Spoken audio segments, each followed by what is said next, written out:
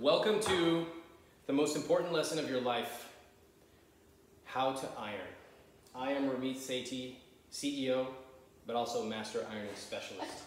And tonight, you're gonna learn a skill that you frankly should have learned about 35 years ago, but there's no shame today. Well, there's no shame until I find out that you don't have an iron or you haven't turned it on in the last two years. We'll discuss.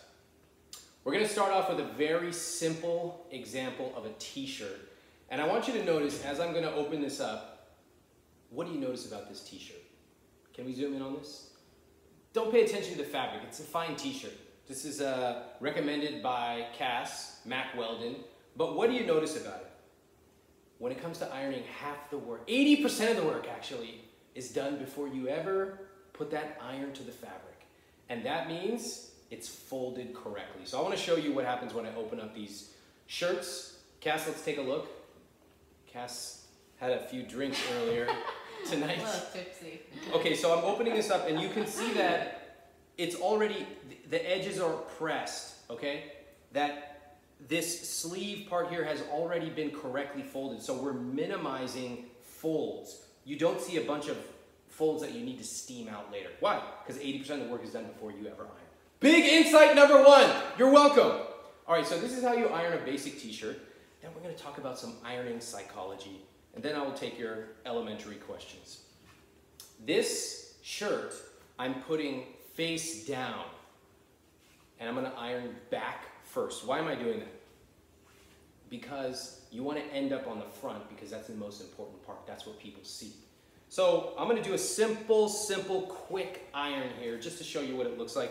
This could be any iron. This isn't even my iron. I like a Rowenta iron, uh, but this is perfectly fine. Any will do.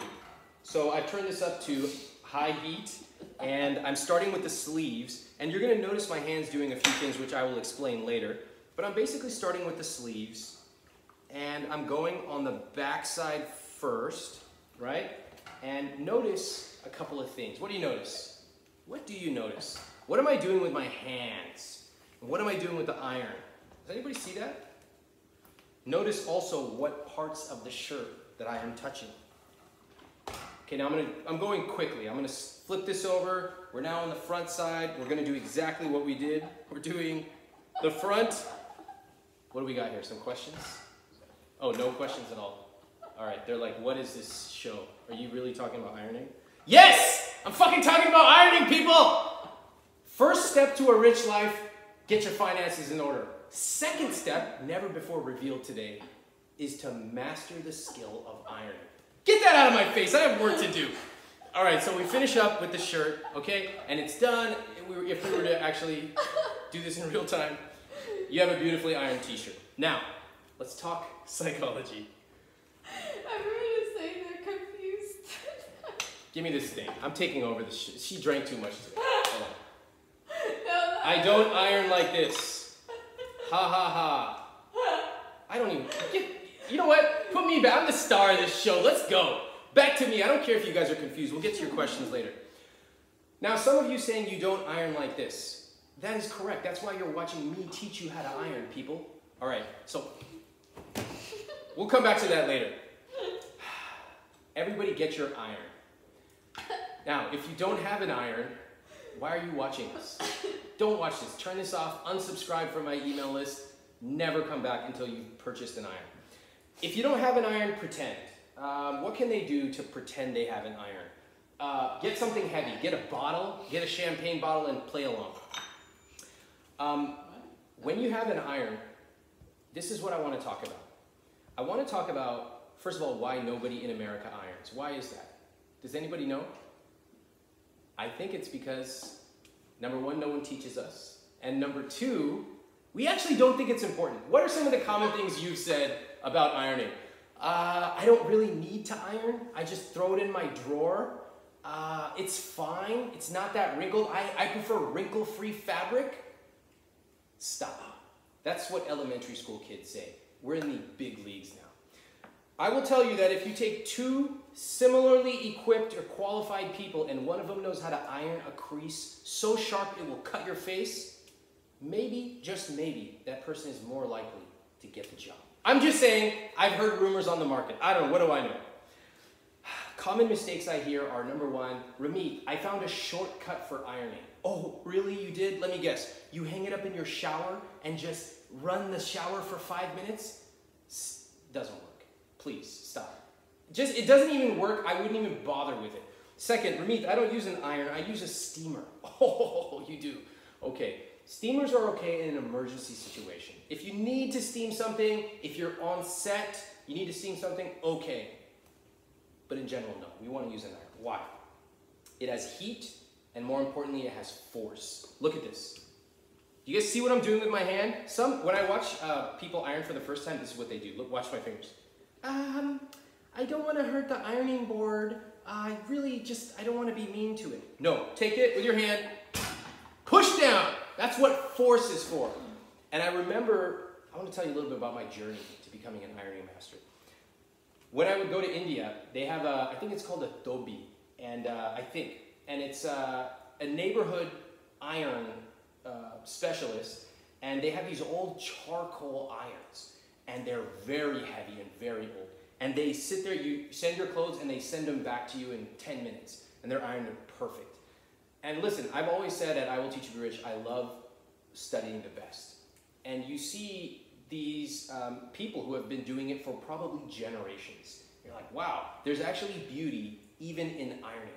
And so that's how I got inspired. My mom taught me, I started ironing my own clothes, then my family's clothes. Now I, one of my responsibilities in our household is I'm responsible for the iron.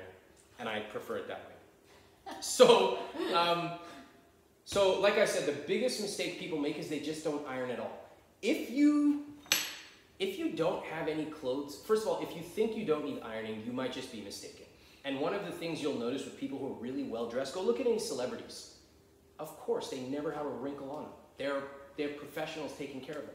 But even people who work and look sharp, you'll notice that they have no wrinkles. They've chosen fabrics and they've taken care of them. That's why I care. Because I think if you're going to wear clothes and you're going to respect yourself and the other people around you, go all the way. And ironing is just a lost art. So what I want to do now is I want to show you a call, um, a call, actually I want to show you pants first. Oh, wow. Because this is common. So let's take a look at a pair of pants. Again, what do we notice about these pants already? We notice that they're already folded so that the crease is not rumpled, right? It's folded. You can fold it in twos or threes. That's up to you. So I want to show you a quick, quick solution here for ironing pants. And for men especially, a lot of men are like, I don't want to iron. Pants are really easy. They're super easy. You can't go wrong because the fabrics are thicker, so they're more forgiving. It's thinner fabrics, especially women's fabrics, that tend to be more delicate, like silk, things like that. This is easy. So on this iron, by the way, we'll talk a little bit about the mechanics of ironing. Uh, we have our iron, and there's really only two things you need to know. You need to know that it sprays water. Can you see that water coming out? It's getting my, it's water, right? So we use that because that creates steam, or you can just use the steam function. I do both. So I have steam coming out of here. My, uh, my Rowenta at home, my iron, I named it. Don't we all name our irons? I call it the dragon because the steam comes out way out here. So all I'm gonna do with this pair of pants is I'm gonna start on, oh, excuse me, I'm gonna start on the inside and I'm gonna go like this and notice the crease. On these pants, I want a crease. On some pants, you don't. You got a pair of casual chinos, you don't want a crease when you go down on Saturday for brunch, fine. But these ones are meant to be creased. Okay, boom, notice I'm going all the way up. All right, I'm taking it all the way down and I'm going over here. Now notice a couple more advanced things. What am I doing with my other hand? This is what I typically see beginners doing. La la la la la, I'm not doing anything. What am I doing now? Watch. What do you guys see? Stretching the fabric. That's gonna stretch any wrinkles out. Stretch it out. Notice also this hand, what am I doing again? I'm pointing. It's pushing, creating force. Okay, so I'm stretching here and I'm also smoothing out areas that need to be smoothed out. Watch this. This is a classic, a little bit more an intermediate mistake you might make. See this crease? See this crease right here? Let's get in, get in tight on that. We want this crease so sharp it will cut your face. Now this is a classic mistake. What if I take this crease and I go like this? Well, now you've done something horrific, my Oh, friends. no. You have really screwed up that crease. You got two creases. That's a double crease. That's a mistake. Don't ever do that. The way you prevent that, the way you prevent that is you stretch it here and you're going on one line. One line. That gives you that beautiful single crease. Cut your face, Wow. success. Now, we'll just go on the outside. We'll flip it over. We'll do the same thing inside first and outside. And then all you do is just open. I'm going to skip through here. Open it up. Wow, got a wow. beautiful Wait, crease. let me zoom in on that. Go in tight right here. Wow. Now, ladies and gentlemen, if you haven't worn a pair of creased pants since you wore Dockers to your seventh grade Sadie Hawkins dance, it's time to grow up, my friends. It's time to join the 2020 year of sartorial celebrations. That's what we're here to talk about. Do we have any questions so far? Am I going too fast for the beginners in the room, aka 99% of people in America? No? You Okay. didn't do the hand sanitizer. Oh, well, oh, sorry. I was too excited. I've broken my own rules today. I've broken my own rules. Process is meant to be followed. Okay, back at it. So, what have we done so far? We've done a t shirt, we've done a pair of pants. I want to just show you something a little bit more advanced, and then we can talk about questions. Okay. All right. Someone said way too fast. What? Oh, you, what do I need to start at the beginning? You guys want to talk about fabrics, cotton? What do you want to talk about? All right, watch this, okay? This is just for a simple polo. Cass, can you get in on this so that everybody can see? Yes. Okay, notice what I'm doing here. 80% of the work is done before the iron ever touches the fabric. So what I'm doing here, I'm stretching it out correctly. There should be no wrinkles. Thi- look at this. This is no good. If you iron on this, you've created more problems for yourself. So we want to do the work here. We want to stretch it out. It's very um, calming. It's very therapeutic. Look at this. I'm finding any flaws and I'm just getting them out. Now, I'm quietly, you can, you know, listen to some music, put on some Sade, and, uh, you know, it's a very, it's a beautiful time. Now, watch this. I went too fast. I'm sorry. I didn't realize I needed to start at the very beginning. Okay, look where my hand is. My left hand. Cass, can you get in on this? Yes. We- We don't need to see my face anymore. This hand here, because I know that I'm gonna iron and I wanna stretch it a little bit. See that stretch? That's causing this to flex. Okay? For anyone who's ever um, done something with your face, men who have shaved your beard, you know how sometimes you go like this to stretch the skin out? Same principle here. Same principle. Okay, so what I did was I started with the sleeve.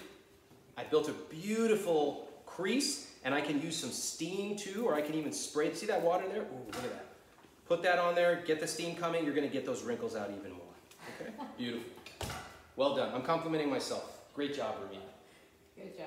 All right, so we'll do the rest of this, but here's the trick I wanted to show you with this shirt. We have a collar. What do we do about a collar, people? Most of us, well, most of us don't even own an iron. What am I talking about? But the people who do, I just want to show you a little bit of collar technique here. So lay out the collar. now you, okay, you got to decide, do you want a sharp crease? If so, I'm going like this. Look at that. I'm going. Oh wait, you folded it though, right? No, this is just a normal collar. This is this is but how. you folded the collar. Yeah, okay, so this is the collar, how it would be worn. Good, I, we should clarify. So this is how you wear the shirt, right? Yeah. And so I'm going to put it down, mm -hmm. and the collar is not like this. Mm. Good, good point though, Cass. If you have a dress shirt, sometimes you get minor wrinkles over here. So you can open it up first, iron this, and then fold it over. Mhm. Now we want to get that crease on there. Now, this is more of a casual shirt, so ironing technique changes based on the type of fabric and the type of look you're going for. As I said, a casual pair of chinos, you're not going to want that tight crease on it. This, personally, if it were me, I would not go super tight here. I would just make sure I get all the basic wrinkles out, but I'm not trying to create a super hard crease here. Why? Because it's like, look at this. This is a drapey piece of uh, fabric. Mhm. Okay, this is a, what is this, theory, and you just kind of want to go wear this casually. It's not a real formal polo. Okay, so for this, you can choose whether or not you want to have a crease. I like a crease, that's me, but what you can see is how you use the collar in your ironing technique. Cass, I want to get some questions from the audience. Mhm. I'm a little nervous about what type of questions we're going to get. You know, we've talked in the past about very sophisticated concepts regarding investment horizons and tax minimization. But today I really have no idea what's coming my way. What do we got? All right, it's a free for all today. Oh boy. Do you use distilled water? Great question. Personally, in my opinion, it's overkill. 99% of the big win is having a decent iron and using it frequently. I know people talk about distilled water, I don't really care. Okay. Great question. Uh, what are you drinking? Water. That's okay, so I've seen we've gone from a very advanced question to this is we have no more questions on this topic of iron. Wait, next. Um, why do you use a steam iron? This is a steam iron. This just isn't my own personal iron. Otherwise, I would show you the dragon. But when you're talking about a steamer, you can do that. And that is helpful, especially for women's wear. So if you have delicates, silk, some of those have lots of ruffles. Okay, there's like thousands of ruffles on a uh, like a skirt. It's very difficult to sit there and iron because you create more wrinkles the more you do it. So for that, a steamer is awesome. But this is a steam iron, not a steamer, and this is what the vast majority of people need. Do you use starch? Wow.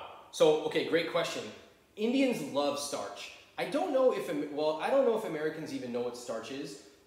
Starch gives you, um, it feels a bit more uh, firm. Okay, it's a little bit stickier on you. I used to use starch a lot. Starch is really good for um, if you want to have more of a structured look for your dress shirts. Starch would not work well with something like this. And this is what I wear more of now. More relaxed, um, more cashmere, cas- casual sometimes. Yeah, this is casual. So starch would be out of place. Whereas if you're doing work shirts, starch could be great. What else? Do you iron Cass's clothes? Yes. Yes, he does. He's an iron master. uh, let's see. Thoughts on Bitcoin and Ethereum over two years? Yeah, that's a good thing to do if you want to lose money. Now let's talk about something real. Oh, Ironing. Wow. What else you got? Okay. Let's go. Ironing master is in effect, not the crypto master. How often do you iron per week on average? Oh, maybe twice a week. Um, Cass, can you come over here so that we can get the uh, angle? Oh, I'm trying to, trying to improve every day here. too much. Maybe two times a week. Okay. And by the way, I don't use an ironing board most of the time. I actually just put it on my bed. So if you don't have an ironing board, you don't need it, but you do want some kind of piece of cotton beneath it. Um, that's going to help you, and something firm. All right. Do you iron your clothes right out of the dryer or wait until you have a pile of clothes? First of all, you should never have a pile of clothes. Are you kidding me? Get it out of the dryer and fold it. And folding it and getting it folded correctly is going to minimize the amount of time you have to iron. Okay, so that's awesome. Uh, if you can do it right out of the dryer, that is the best time because you have the fewest amount of wrinkles. If you can't, that's okay. My suggestion though, you should fold stuff right out of the dryer. If your clothes have been sitting in the dryer, put a wet towel in there, start the dryer again for 10 to 15 minutes. It'll steam it out, and then you take them out and fold them, and fold them firmly so that all the wrinkles are gone. And then half the time you may not have to iron it, but when you do, it's gonna be really easy. Okay. Who taught you to iron your clothes? My mom. I think behind True Blue Queen. Yeah, behind every ironing master is an Indian or Asian mom or grandmother who has somehow down the generations learned this from somewhere and taught us. So I'm very thankful to my mom. Thanks, Mom. Do you iron your underwear? Wow. I ha- I don't because I wear um, some kind of performance fabric, but I have ironed uh, jeans when I used to wear jeans. I ha- and that was not with a crease, by the way. That would be really horrific. I have ironed. I think when I had boxers one day, this is many years ago, I was like, no, this is horrific, and I pulled it out. So I've ironed some crazy things. Okay. What else? These questions are surprisingly good, I have to say. Let's see. Let me look in the chat box. I wish someone said, "What do you mean you don't wear jeans?" Because then I can go on a huge rant about jeans. Oh, anyway. Oh, what material will you not iron? Ooh. That's a good one. That's a great one. There are a couple things of Cass's that when she gives them to me, I just say, look, this is going to be impossible. We need to get it professionally done. Those would be, Cash, what, what, what are those like fabrics? silk. Very complex yeah, silks. like very delicate. yeah, like we're talking about um, skirts with 200 uh, ruffles. delicate layers. Yeah, layers. So, but day to day silks, those are hard. If you have a, a woman's uh, uh, silk blouse, they're really hard because the they're so delicate that the minute you do something on the back, it can cause a wrinkle on the other side. So that is a more skilled technique The you need to develop. Yeah. Yeah. Um, why don't you wear jeans? I decided about seven years ago. First of all, ten years ago, I said uh, my rich life. Oh shit! Wait, I flipped it on accident. Oh, that's okay. They're looking at you now. That's our viewership is probably going up. They tuned out when they saw me with Wait, an I iron. don't know how to flip it. Here, here, let me come there. Hold on. Oh, it's really looking at you. Hold on. Um, wow. This is, uh, we got the pro level going. I don't know how to flip Oh, it. maybe. Oh, here, here. Oh, okay, there you go. Boom! Oh wow. Steven wow. Spielberg, back in the house. Let's give Cass a round of applause, please. At Next Level Wardrobe. I was like, Cass, can you put that can you put that drink away? I know you did a happy hour a couple hours ago. Like, we gotta go live in a second. She was like, I'm good. Are you? Okay, so are we talking about jeans? Ten years ago, I decided my rich life is never wearing dress shoes with jeans. I just hate it. I was tired. You see in Silicon Valley, the, the, the wardrobe get up. Let me wear a button down shirt with jeans and then these horrible square toed, square toed, uh, like leather dress shoes, and maybe I'll put on a blazer or a vest. I was like, no! So I said, I'm never doing that. Wow. Then I said, you know what? Maybe no more jeans ever. And so since that day, I've never worn jeans. Watch the photos, look at the videos. Never worn them since then. Thankful. That is true. That is my rich life. Okay, next question. How often do you iron your clothes? Um, so maybe two times a week. Some of my fabrics don't need to be ironed. Also, if I'm, you know, I work from home, so if I'm really casual, I'm sitting like this, I would probably not iron. But I also would take care of it so that it's not dumped in a pile. I fold it when I'm done wearing it, okay? But if I'm, you know, if I'm gonna be on Zoom, which I am every day, or I'm gonna go out, I would definitely be ironing some of those clothes. Okay. I think we can probably take the last question here, and then I'm gonna, I'll just close it up with a few final remarks. Okay.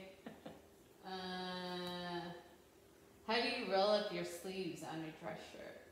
Wow, that's actually a really good question.